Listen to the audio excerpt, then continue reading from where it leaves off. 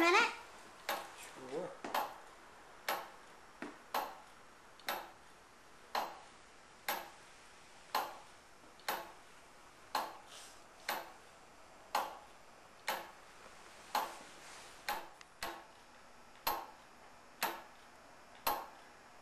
And now we're going to pause. Uh, I think that's good. Now turn off.